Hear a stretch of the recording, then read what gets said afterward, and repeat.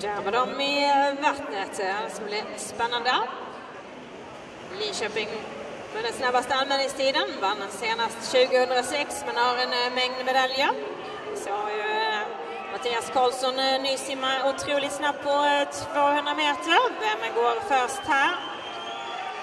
Och vi har en mittenbana Neptun växlar först till Niklas Thor efter 24.45 på första sträckan. Linköping på en andra plats där nu Oskar Ekström i vattnet efter 24.80. På en tredje plats har vi Helsingborg med Olle Williamson på andra sträckan efter Jesper Björk 24.91.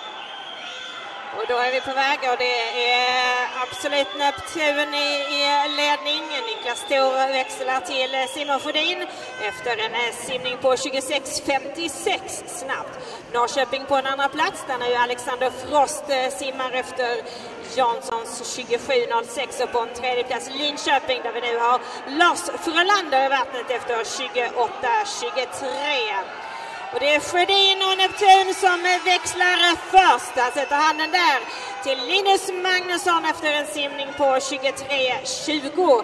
På en andra plats Norrköping där vi nu har Mikael Wåhlin i vattnet och på en tredje plats Helsingborg där vi har Isak Eliasson efter Karlsens eh, snabba 23.06.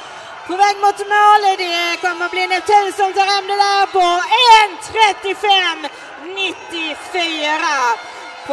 andra plats Norrköping med Mikael Wåhlin på avslutande sträckan, 1.38.10 och på en tredje plats Helsingborg där Isak Eliasson avslutade 1.38.51.